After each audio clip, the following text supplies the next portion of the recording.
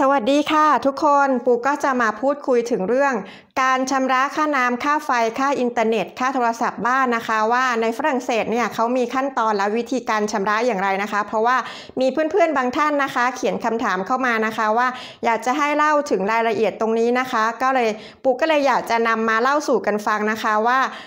ในในประเทศฝรั่งเศสเนี่ยเวลาเราจะชำระค่าน้ำค่าไฟนะคะ หรือว่าค่าอินเทอร์เน็ตค่าโทรศัพท์บ้านเนี่ยมีรายละเอียดอย่างไรนะคะ เพื่อที่จะได้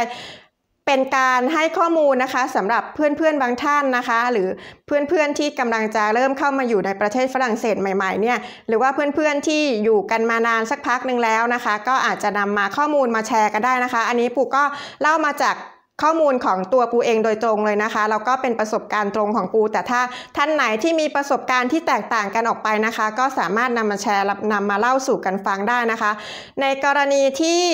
ปูจะต้องสมมติว่าปูมีบ้านนะคะ มีบ้านอยู่หลังนึงแล้วก็เราเราจะต้องไปแจ้งไปแจ้งทางสำนักงานการไฟฟ้าสำนักงานของค่าน้ำนะคะ แล้วก็สำนักงานของทางอินเทอร์เน็ตทางโทรศัพท์บ้านเนี่ยเราจะต้องไปแจ้งนะคะ ชื่อที่อยู่เรานะคะ แล้วก็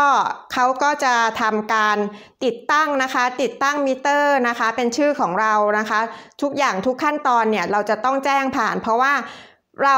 เวลาเราชำระเนี่ยเราจะต้องแจ้งชื่อบัญชีของเราด้วยนะคะ เพราะว่าเขาจะตัดเงินจากบัญชีของเราโดยตรงเลยเรา โดยที่เราไม่ต้องไปจ่ายเงินที่ที่สำนักงานการไฟฟ้าหรือสำนักงานการประปาอะไรของทางฝรั่งเศสนะคะ เราไม่ต้องไปนะคะ เราแค่มีบัญชีแจ้งไว้ว่าให้เขาหัก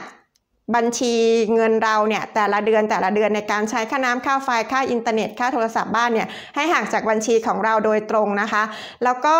ค่าค่าไฟเนี่ยตามปกติเนี่ยเขาจะค่าน้ำด้วยนะคะ ตามตามตามปกติเนี่ย อย่างกรณีของปูค่าไฟนะคะ เขาจะแจ้งยอดรวมระหว่างต้นต้นปีนะคะ หมายถึงว่าตั้งแต่เดือนมกราถึงเดือนมิถุนาเนี่ยครึ่งปีแรกเนี่ยเขาก็จะแจ้งมานะคะว่ายอดรวมนะคะของเราการใช้ไฟของเราเนี่ยเป็นจำนวนเท่าไหร่ต่อเดือนนะคะ เขาก็จะหักตามตามที่เขาแจ้งมานะคะ ว่าแต่ละเดือนเนี่ยกี่ยูโรนะคะ เขาก็จะแจ้งมานะคะ ทุกเดือนเขาก็จะเขียนดิสเป็นรายการนะคะ เขาไม่มีนะคะว่า เดือนนี้นะคะ ปูใช้ไฟไป 5,000 บาท เดือนเดือนถัดไปปูใช้ไฟไป 6,000 บาทเขาไม่มีแจ้งนะคะ เขาคิดเป็นยอดรวมเป็นครึ่งปีแรกกับครึ่งปีหลังแล้วเขาก็จะมีใบเสร็จแจ้งเรามาว่า เดือนมกราเราต้อง เราต้องถูกหักบัญชีของเราเป็นการจ่ายชำระค่าไฟเนี่ยเท่าไหร่นะคะ อย่างของปูเนี่ยแต่ละเดือนเนี่ยปูจะโดนหักบัญชีไปนะคะ จากการชำการใช้ค่าไฟเนี่ยอยู่ที่ประมาณเกือบ 4,000 บาทนะคะ ก็แล้วก็ในกรณีที่พอถ้าเกิดว่าเขาคิดเขาคิดยอดรวมนะคะ ค่าไฟของเราเนี่ยการใช้ไฟของเราเขาสมมติว่าในกรณีเขาคิดเกินนะคะ เขาก็จะมีเช็คนะคะ เป็นเช็ค เป็นเช็คที่ส่งมาให้เราโดยที่เขาจะแจ้งมาว่าเขาคิดค่าไฟเกินนะคะ จากที่เราได้ใช้ไฟไปเนี่ยเราไม่ถึงจะต้องว่าเราเราจะต้องจ่ายไปตามตามที่เขาคิด เกินไปทั้งหมดนะคะ เพราะว่าเขาเหมือนเขาคิดยอดยอดเหมามาให้เรานะคะ ครึ่งปีแรกกับครึ่งปีหลังเนี่ยเขาคิดยอดรวมเรามาทั้งหมดเป็นการครอบคลุมเป็นการจ่ายครอบคลุมไปก่อนทีนี้เนี่ยในกรณีถ้าเราใช้ไฟไม่ถึงตามที่เขาให้เราจ่ายเนี่ยเขาก็จะมีแจ้งเป็นเช็คมานะคะ เป็นเช็คเป็นใบเช็คมานี่แหละ แล้วก็แจ้งยอดรวมเป็นเงินยูโรนะคะ สมมติว่าเขาคิดเงินเกินเราไปในในตลอดครึ่งปีแรกเนี่ยเขาคิดเงินเรา เกินไปประมาณ 8,000นะคะ สมมติว่าเป็น 8,000 บาทไทยนะคะเขาก็จะส่งเช็คมานะคะ ทั้งหมด 8,000 บาท เพื่อที่จะให้เราไปลงทะเบียนในอินเทอร์เน็ตนะคะว่าเบอร์การใช้ไฟของลูกค้าเบอร์นี้ชื่อนี้นะคะ แล้วก็โค้ดในใบเช็คเนี่ยอยู่ที่โค้ดเลขอะไรนะคะ แล้วก็เราก็จะปูก็จะต้องไปลงทะเบียนตัวนี้นะคะ ไปแจ้งยอดเขาในอินเทอร์เน็ตว่า เราจะใช้เช็คตัวนี้เป็นการจ่ายค่าไฟ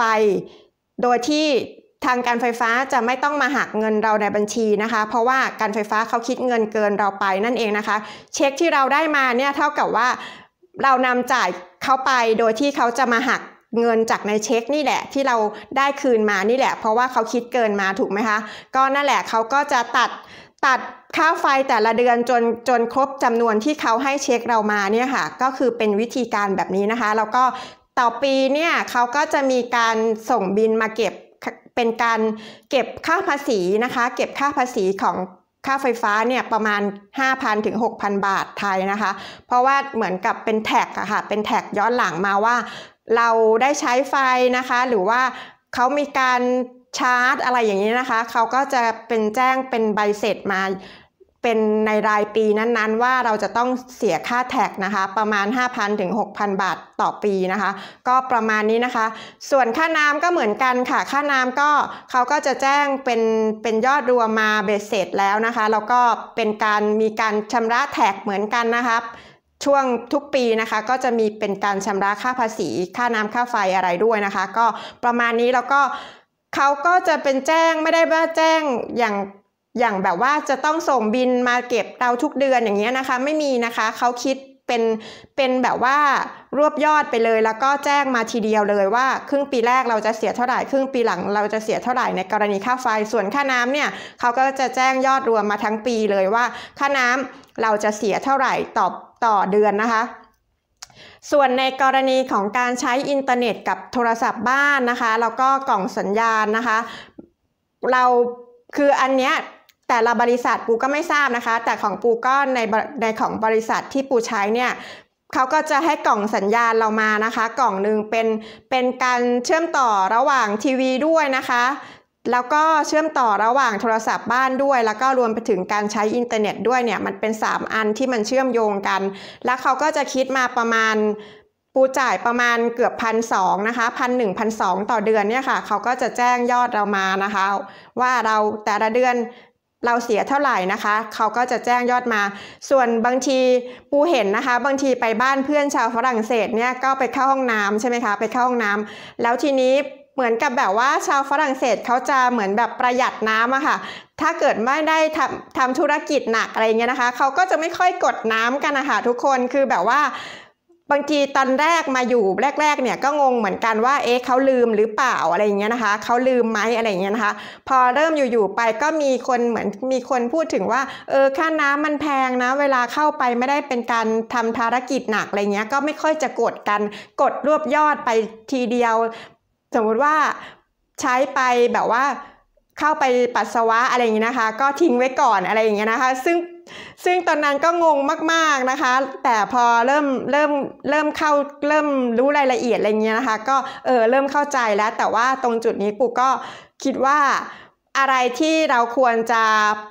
จะใช้อย่างเช่นการที่จะต้องกดชักโครกเนี่ยมันก็ไม่จำเป็นที่จะจะต้องประหยัดไหมนะคะ ก็ขอให้รักษาความสะอาดกันไว้ดีกว่าอะไรประมาณนี้นะคะ เพราะว่าคือเข้าห้องน้ำมันก็ต้องกดนะคะ กดชำระความสะอาดลงไปอะไรอย่างเงี้ยนะคะ คือเพื่อนชาวฝรั่งเศสเขาก็จะมีแบบมีเหมือนทำเป็นลืมอะไรอย่างเงี้ยนะคะ ก็ประมาณนี้ค่ะ แล้วก็ส่วนในเรื่องของการที่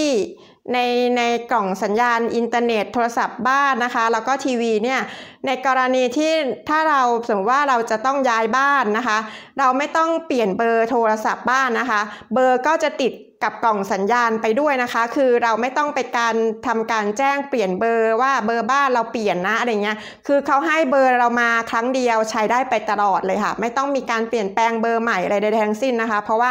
ชื่อกล่องสัญญาณอันนี้ก็เป็นโค้ดของเรานะคะ แล้วก็เป็นชื่อของเรา เบอร์โทรศัพท์บ้านก็เป็นเบอร์ของเราเบอร์เดียวตลอด ไม่มีการว่าในกรณีที่เราย้ายบ้านไปนะคะ เราจะต้องแจ้งเปลี่ยนเบอร์โทรศัพท์บ้านใหม่ไม่มีนะคะ ใช้ไปตลอดชีพเลยค่ะเบอร์อันนี้นะคะให้มากับเราเราก็ใช้ไปตลอดยาวไปเลยค่ะ ไม่ต้องมีการเปลี่ยนแปลงเบอร์ใหม่ก็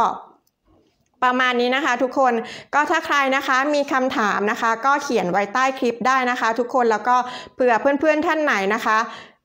สงสัยอะไรก็เขียนไว้ใต้คลิปนะคะ ทุกคนปูก็นำมาแชร์ตามประสบการณ์ตรงของปูนะคะ แล้วก็อีกอย่างหนึ่งคือเวลาเราใช้ไฟใช้น้ำใช้อินเทอร์เน็ต ใช้โทรศัพท์บ้านเนี่ยคือ เราจะต้องแจ้งทางสำนักงานทุกสำนักงานนะคะว่าให้ทำการหักจากบัญชีของเราโดยตรงแต่ละเดือนนะคะ โดยที่เราไม่จำเป็นจะต้องไปเดินไปชำระเหมือนที่ของเมืองไทยนะคะ ว่าเราจะต้องไปชำระค่าน้ำค่าไฟที่สำนักงานนะคะ หรือว่าไปชำระที่เซเว่นหรือ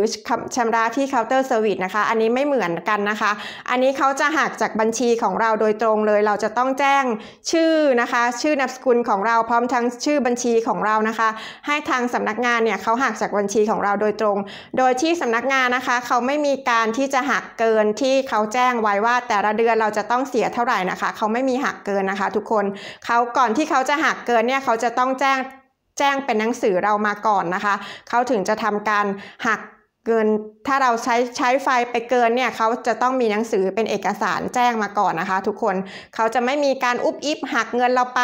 แล้วเราจะต้องไปอ้าวทำไมคุณหักเงินเราไปมันเขาไม่มีนะคะ ระบบตรงนี้นะคะเขาหักนะคะ ทุกบาททุกสตางค์นะคะ เป๊ะๆเลยนะคะ ทุกคนไม่มีการหักเกินเรานะคะ ถ้าเกิดเขาหักเกินเราเขาก็จะคืนเรามานะคะเขาไม่มีการอุบอิบนะคะ ทุกคนก็นั่นแหละปูก็นำมาแชร์นะคะ ตามประสบการณ์ตรงของปูนะคะ แล้วก็หวังว่าคงจะจะเป็นประโยชน์นะคะ ทุกคนแล้วก็ไว้เจอกันใหม่คลิปต่อไปค่ะ ขอบคุณนะคะสำหรับการติดตามค่ะ สวัสดีค่ะ